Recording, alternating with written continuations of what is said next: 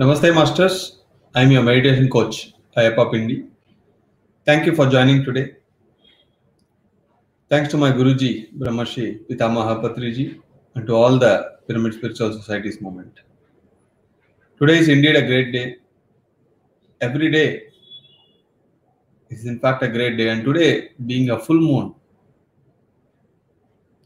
the energy shower will be very great on the Mother Earth. People who do more meditation, they receive more energies. The more we meditate, the more we become balanced, both physically and mentally. We must always keep a checkpoint on our mind. The mind should be tamed, which we failed to do in our childhood. Full moon gives a lot of energies to the earth. And people who meditate a lot receive those energies, and the same can be used for evolution and as well as healing, and also for ascension of the consciousness. Today, let's discuss about a very interesting topic called ageless wisdom. What we get is information, and what we retain becomes knowledge. And when experience is added, it becomes wisdom. Ageless wisdom means at all given times, 2500 years ago, what was truth is still truth today that we are not the bodies, we are the souls. 2500 years ago, Buddha observed his breath, became enlightened. And today, when you observe your breath, you become enlightened. Whatever the age you are in, whether it's a Stone Age or Dwapar Yuga, Kali Yuga, Satya Yuga, doesn't matter. Truth will always remain truth.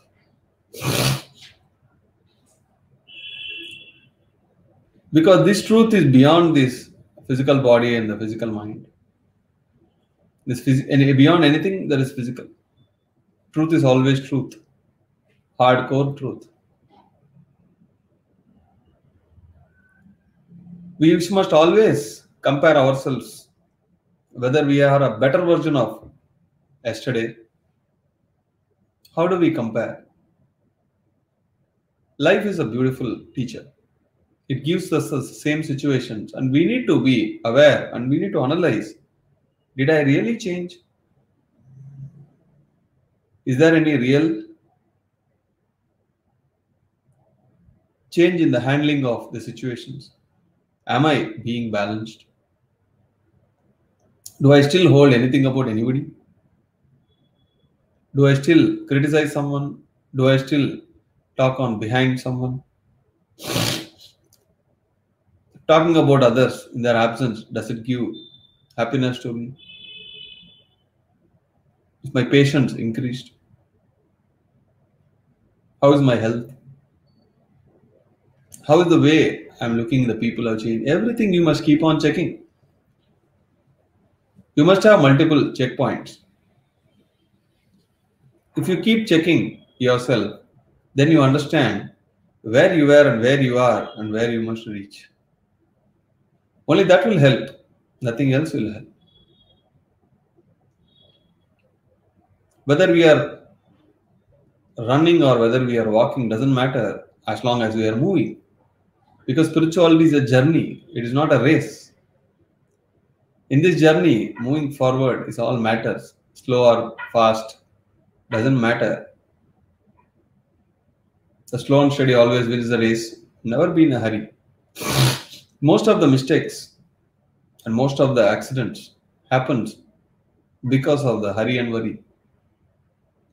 There's no hurry there's no worry. Slow and steady always wins the race. Ageless wisdom. The interpretation of all our holy books have been totally wrong. People who read from the holy books they interpret things how they are, not like how what they are.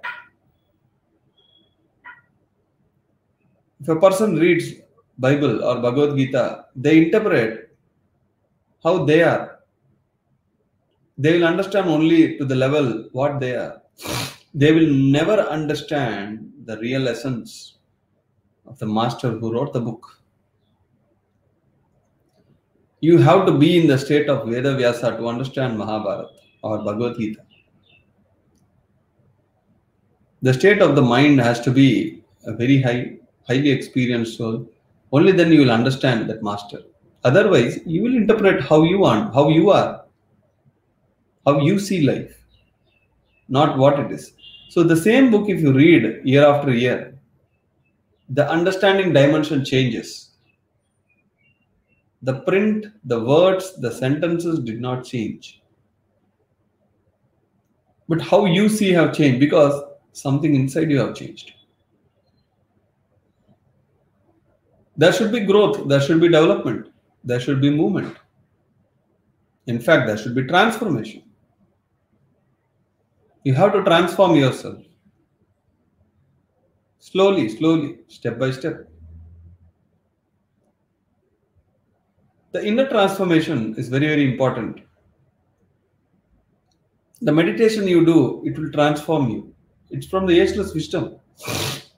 Nothing else is needed. If you go with any other practice, it means you are planning for next birth, a rebirth. If you want this to be final birth, you have to be with the breath. This comes from the ageless wisdom, this truth. Buddha has practiced everything under the hood. Nothing gave him salvation. Nothing gave him answers. And when he went to the middle path, observed his breath, then he gave the whole world the formula observe your breath, with the breath.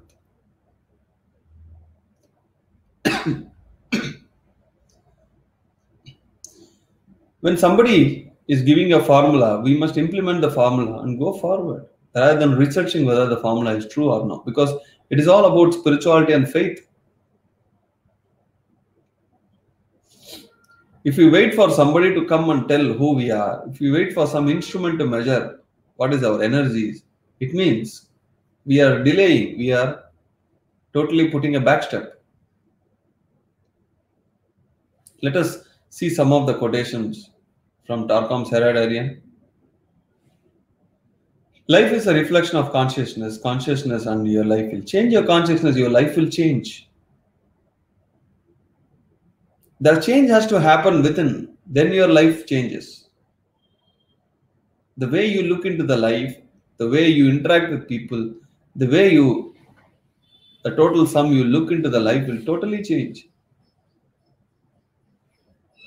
The change has to start within. We always expect things to change outside. That is not going to happen unless we change inside. Creativity is the state of consciousness in which you enter into the treasury of your innermost being and bring beauty into manifestation. You have to be creative in everything and anything you do. If there is no creativity, then you are not a creator. There's no creation. You don't need to invent something new. If there are two existing things, you mix it and create one thing. If two colors are mixed, you get a new color. That's a new creation. We can always do that. The creativity is a state of consciousness, the state of the soul. Because the soul always creates because it's a creator. It's a God in which you enter the treasury.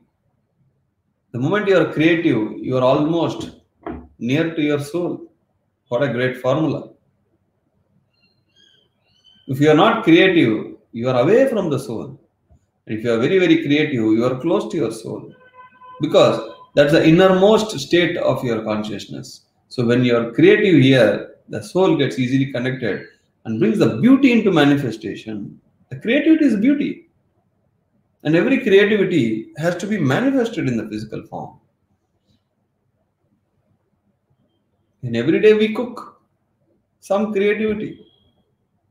The way we serve, some creativity. The way we speak, some creativity. The way we listen, some creativity. The way we write, some creativity. In every product, every project, every process, every art, every science, we can always have creativity. Trying something new should be a constant thing because that creates a lot of new energy inside us. Holding on to the old patterns, holding on to the old energies will not help you to move forward. We must be like a river, not like a lake. The closer you come to your core, the greater is your joy.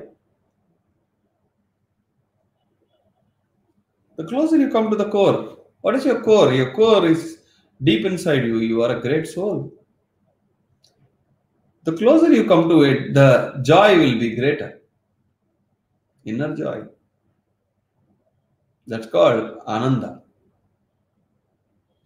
which is permanent. Because the closer you are with your core, that is your consciousness and the soul, there's nothing there. There's only joy. If you are away from it, there's only sorrow, misery. You don't understand what is life. You don't understand who you are. And how do we increase the joy? Increasing the joy by increasing the pure joy of others. Pure joy. It is joy, not happiness. Happiness is a state of mind it vanishes very quickly. You give something to a kid, is happy, but after some time, is again not happy. But um, we are talking about the joy. Getting a blissful state in meditation will give an impact for lifelong joy. Enjoyment, there is a joy. If we increase the joy of others, we increase the joy of ours. Pure joy of others. If we help others to connect to their own souls, our joy increases many, many times. So that happens only when you are in pure service.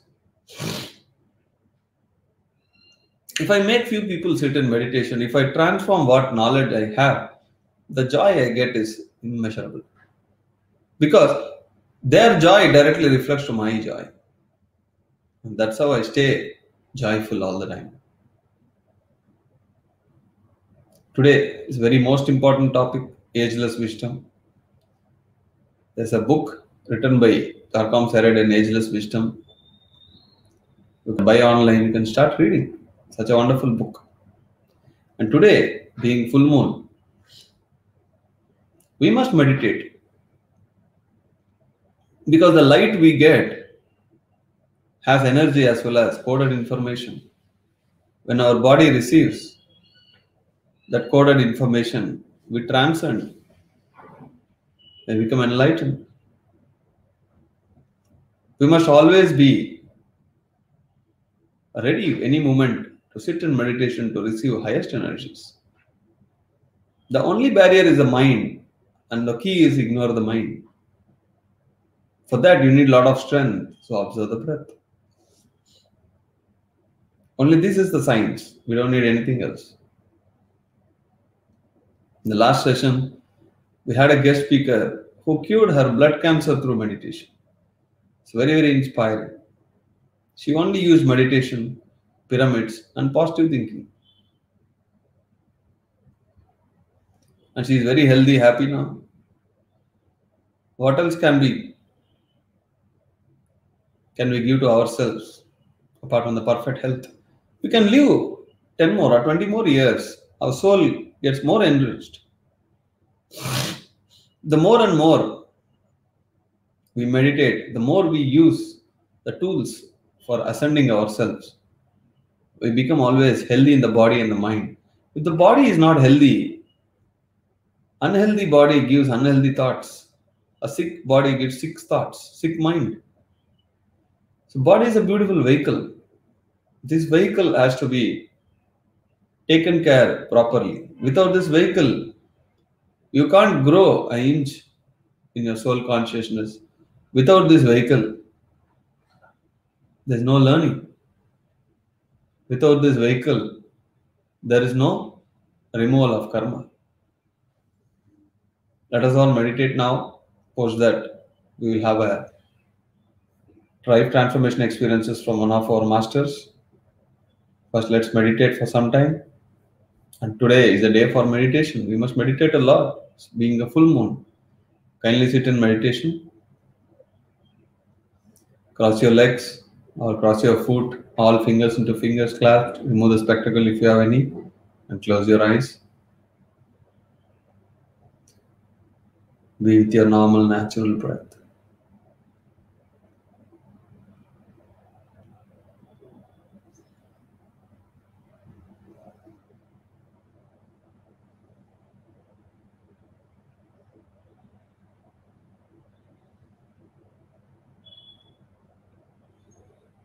Your breath.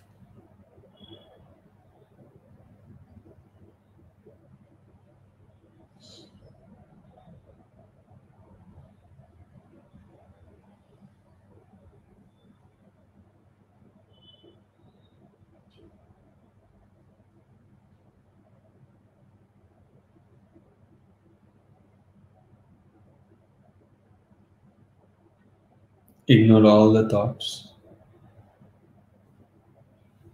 Don't go beyond the thoughts. Don't open your eyes. Be with your normal, natural breath.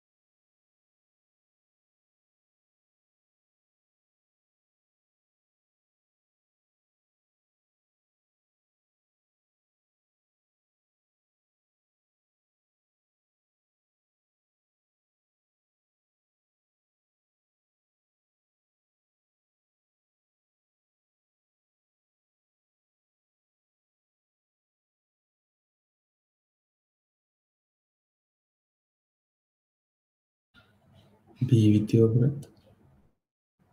Don't open your eyes.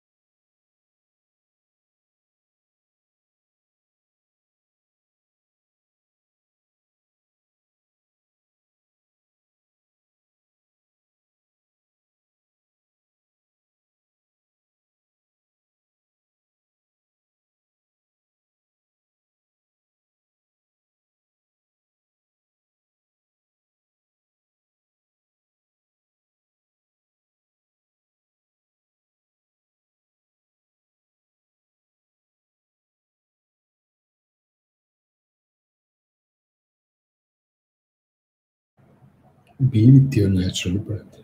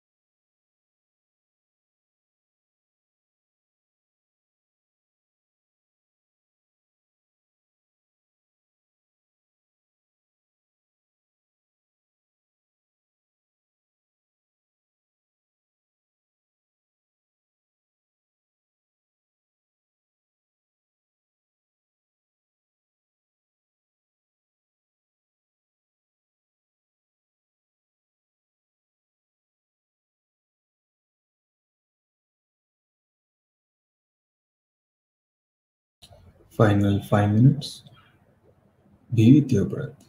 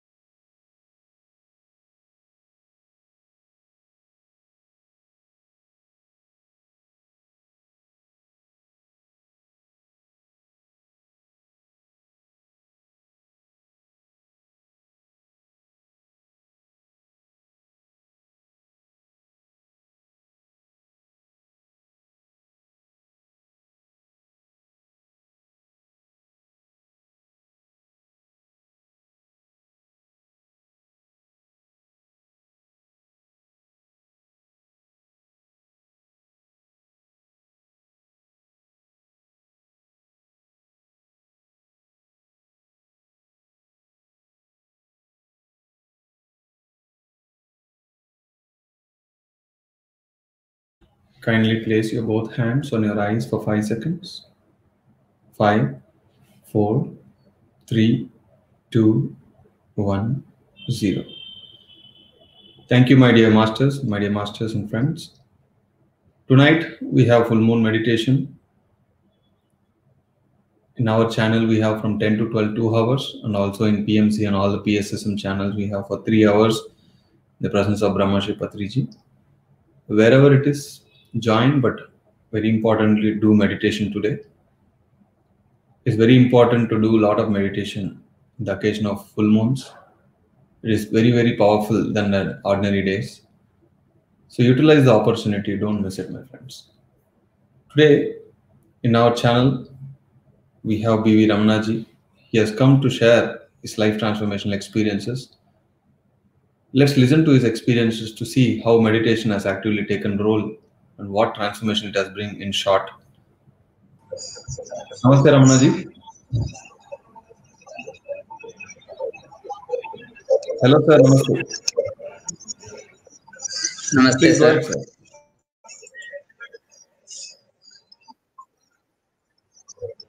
Please go Namaste, ahead. sir. Thank you. Sir. Namaste to everyone. Uh, sir, is it audible? Okay. Firstly, my Atma pranams to our beloved Guruji, Patri sir, and Guru Mata Swarnala- Swarn- Swarnmala Patri madam, and to my parents and my spiritual mother DNA Swarnalata garu. My name is Venkatramana. I am from Markapur, Prakasham district. Presently, I am residing in Eluru. I am a chartered accountant. I came into meditation in 2018.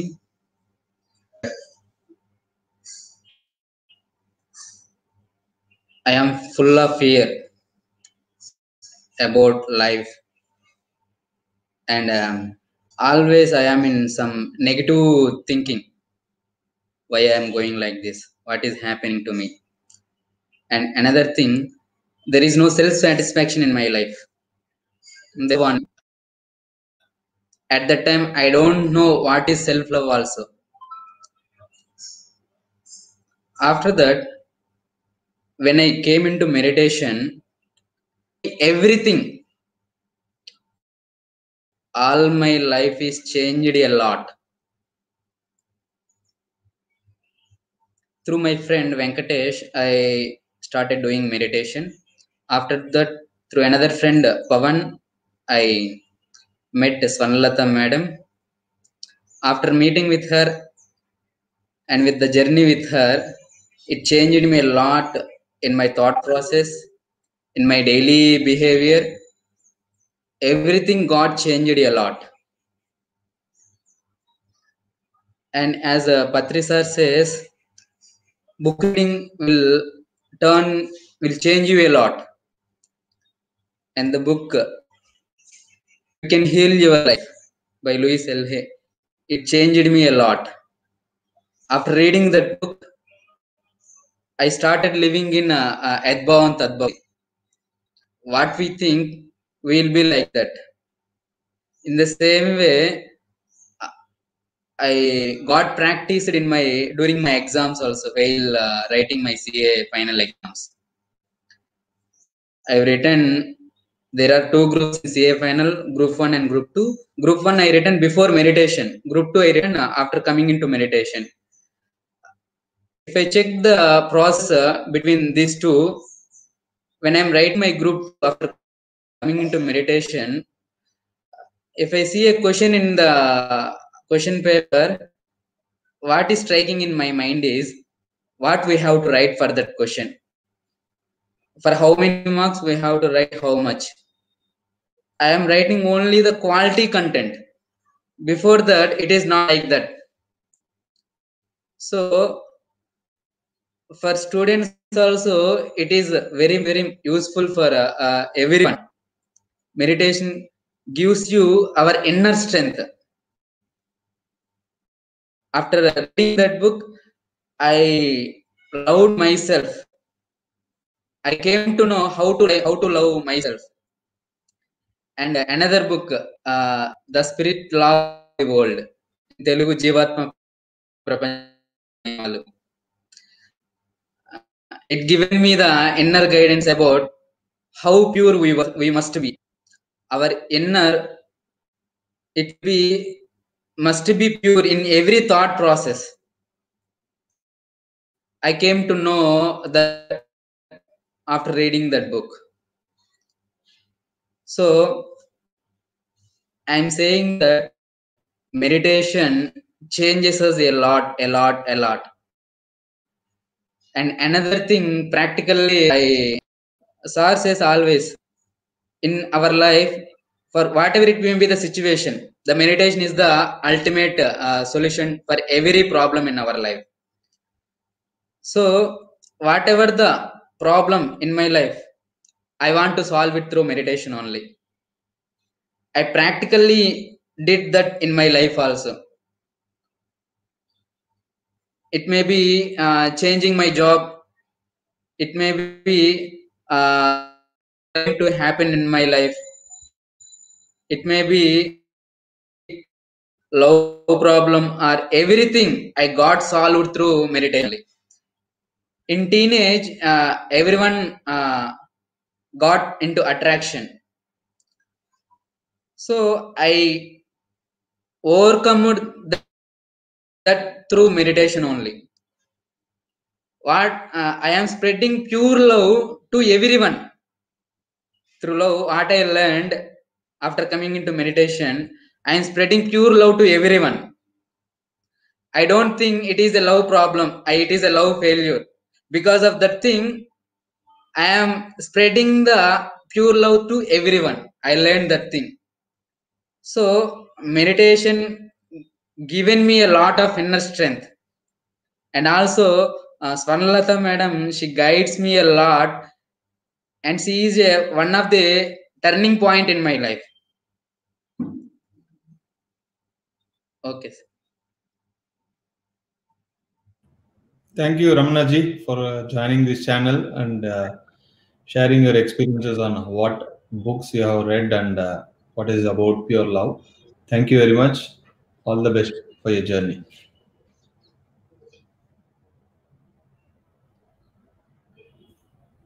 Very nice experience. He tried to express what he actually is doing. There's always guidance comes to you through some senior masters, and he has read some books and uh, his life is slowly getting transformed. Very nice to hear such experiences. Very inspirational. Okay, thank you, Master. So let's look into some of the questions. Do we have any today? Krishnamurti ji says, Welcome, Mr. Ramanaji. Vital ji, after a long time. Thank you, Ramanaji. Inspiring experience. Thank you, Swarnalata ji. Namaste, Masters. So today is the day for meditation. Today is full moon the more we meditate, the more we receive energies and more we heal. We have choice. We can either eat, sleep, or we can eat and meditate, or we can eat less and do more meditation. The conscious choice you make directly reflects to your consciousness, and the change that happens in your consciousness will reflect back to your life. So it is all the personal choices. Coming to the earth plane is our choice doing meditation or no is our choice and doing meditation on the full moon again is our choice so your choice of what you are going to do today is going to shape your tomorrow's future thank you for the great experience ramana master from maltiji great sharing by master it's ramana not ravana thank you tilaji thank you so much for great meditation master from ratika ji thank you, Ayyappa for the great session today. Yeah, thank you very much. Master, please explain about eclipse today. See, whether it is eclipse or not eclipse, full moon or no moon, there is a great shift in the energies in the earth. During those times, the energy shower will be more on the earth. This is all I know. And when we meditate during these times, we receive a lot of cosmic energy. And that will help us to ascend and also heal a lot. Thanks, Ramanaji, for sharing experiences. No, Master Tilaji, it's okay. So he looked like Ravana. He's actually Ravana. No problem. Thank you, Master. So let's again connect tonight for music meditation, full moon meditation. Join anywhere, but please do meditation. Until we connect again, signing off your meditation coach Ayappa Pindi. Thank you. Namaste. Bye bye.